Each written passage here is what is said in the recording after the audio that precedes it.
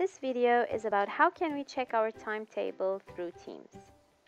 Once you log into your Teams account with the school username and password and you log and see the Teams section, you will see yourself into your classes specified into these teams.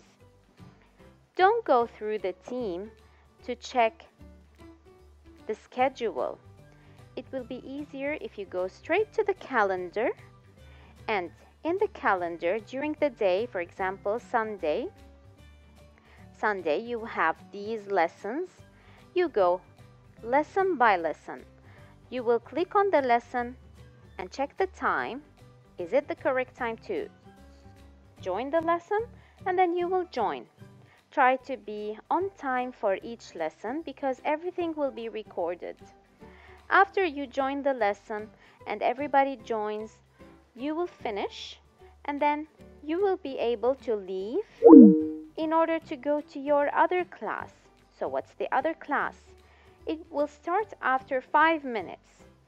So you will straight go to the other class, prepare yourself from 8:30 to 9:15 and then you will join again the other class.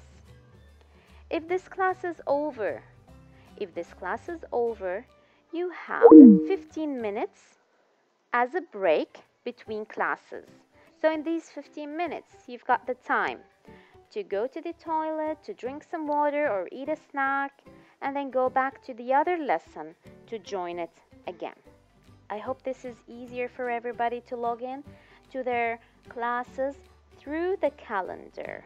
Everything will be showing here. Thank you very much for listening.